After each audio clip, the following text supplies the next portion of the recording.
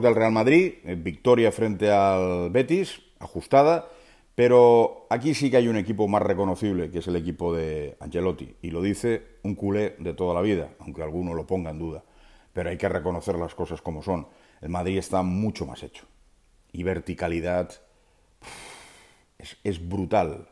El Barça ahora empieza a tener esa verticalidad por momentos, y sobre todo pegada, pero es que el Madrid sale desde la defensa con las ideas claras y con los Chuameni, con los Camavinga, con los Valverde, con Vinicius que está en un momento on fire y Benzema que también sabe fijar a sus centrales, a los centrales rivales y sabe también abrir unos huecos y unos espacios para que vayan entrando los compañeros por los lados, es un equipo que no me extraña que lo haya ganado todo en los últimos tiempos títulos, partidos, no me extraña en absoluto.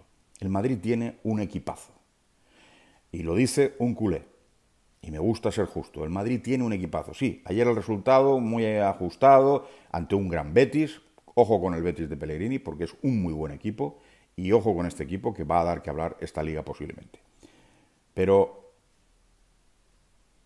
realmente este Madrid le hace falta un gol más y da la sensación, ves que en cualquier momento te van a marcar un gol. Por cierto, Courtois, el otro día dije en un vídeo que me criticaron algunos por ellos, que es un portero muy similar a, a Ter Stegen. Me refería actualmente.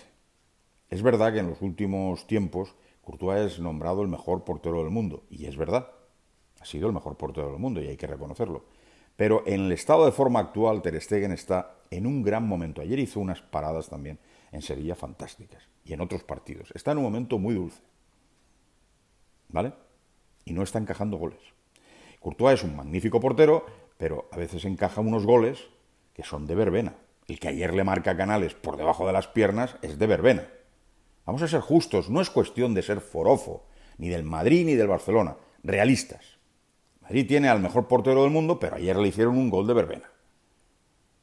Eso sí, y es lo que le quería transmitir a todos ustedes. El Madrid da sensación de que si le marcan un gol, va a marcarte uno, dos y tres.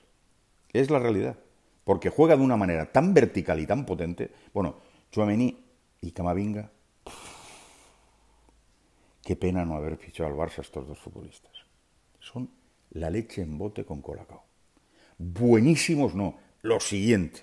Y tienen una proyección teniendo 19 y 22 años.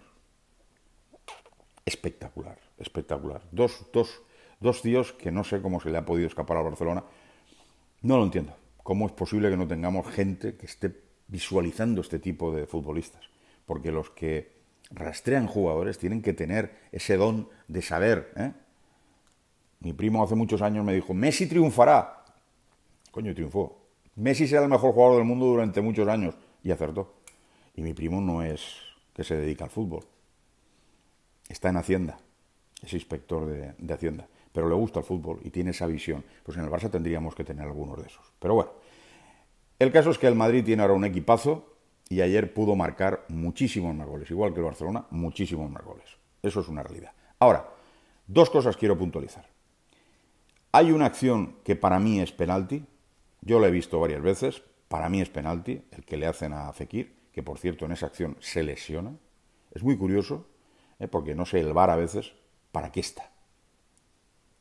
Y no me refiero al bar de tomarnos una birra o dos, sino al bar del fútbol. Hay que ser justos. Le toca el pie y lo lesiona. Es penalti. El de los últimos instantes del encuentro que Borja Iglesias se tira encima del portero no es penalti. Porque Courtois ya tiene cogido el balón. Courtois ya tiene cogido el balón, por lo tanto no es penalti. Se deja caer el jugador y parece que tal, pero no. Courtois ya se ha hecho con el balón sin ningún tipo de problema. Vamos a ser claros. De todas formas, en el contragolpe mañana, a partir de, mañana lunes, eh, a partir de las 7 de la tarde en el 95.8 y a través de online, hablaremos con Sergi Albert, nuestro árbitro internacional, y que nos cuente las acciones. Pero ya digo que en este partido, para mí, la primera es penalti y la última, evidentemente, no. Y por lo demás, nada, el Betis tiene un grandísimo equipo. va a ser un equipo llamativo este año en la competición, liguera, y en otras competiciones. Y el Madrid tiene un equipazo. El Madrid tiene un equipazo. Tiene un equipo que sabe a lo que juega, una verticalidad, una contundencia, unos robos de balón al centro del campo por parte de los Chuamení, de los Camavinga, Valverde. Es que, es que al final pues, asfixian, cansan al rival. Lo entiendo perfectamente que los rivales acaben tirando la toalla porque tienen un poderío desde la defensa, sobre todo centro del campo, que es, es brutal. Es que es brutal, es brutal. Han sabido con los años regenerar y tienen ahora mismo una, una plantilla que se está confeccionando de cara a los próximos años y con lo próximo que pueda venir, que esté en la cabeza del señor Florentino, pues van a seguir montando un equipazo al mismo tiempo que están montando un pedazo de estadio espectacular. Es lo que hay.